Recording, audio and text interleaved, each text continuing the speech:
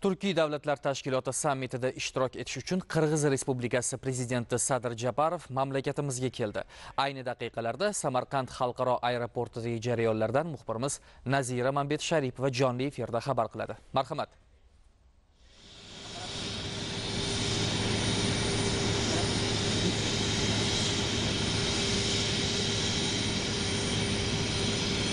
Assalomu alaykum studiya mana biz ayni daqiqalarda samarqand xalqaro aeroportidamiz. Bu yerga qirg'iziston respublikasining birinchi raqamli borti yetib keldi.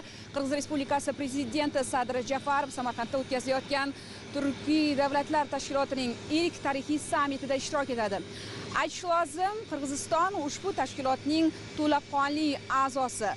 Va shu o'rinda aytish lozim mana hozir e, qirg'izistonlik yuksak martabali mehmonni kutib olish jarayonlari boshlanmoqda. Tantanali tarzda mana faxriy qarovul shay holatda turibdi va yuksak martabali mehmoni o'zbekiston respublikasi bosh vaziri abdulla aripov rahbarligidagi rasmiylar kutib olishga tayyorgarlik ko'rishyapti umuman ikki tomonlama munosabatlar haqida so'z yuritganda bugungi kunda o'zbekistonda qirg'iz kapitali asosida 291 ta korxona faoliyat yuritmoqda tomonlar ikki tomonlama Э, to'qimachilik farmatsevtika qurilish qishloq xo'jaligi mahsulotlarini ishlab chiqarish sohasidagi qo'shma loyihalarni birgalikda amalga oshirishdan manfaatdor. Mana hozir e'tiboringizni qaratamiz. Qirg'iz respublikasi prezidenti sadir jafarovni kutib olish jarayonlari boshlandi.